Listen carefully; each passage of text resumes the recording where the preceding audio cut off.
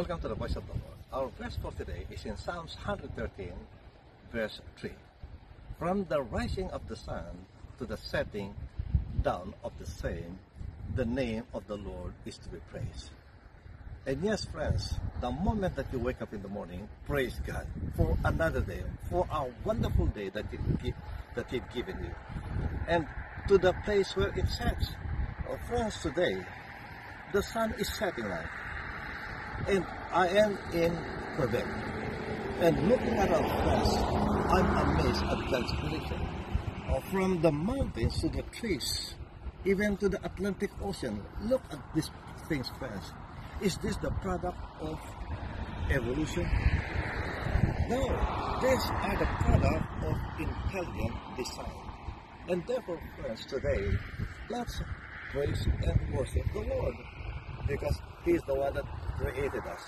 And so, every time that you look around and see something, thank God. Amen. Thank God that He created these things. That we are not just a product of, of Big Bang. That one day there was this Big Bang and things appeared.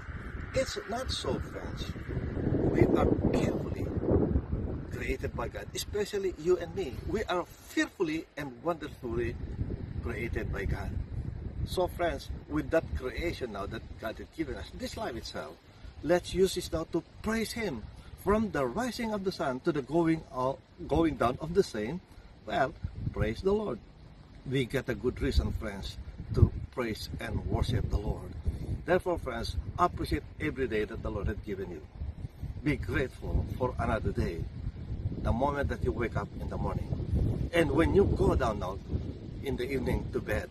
Well, friends, thank God again. Amen. He had allowed you to enjoy the day and be expectant of the coming day.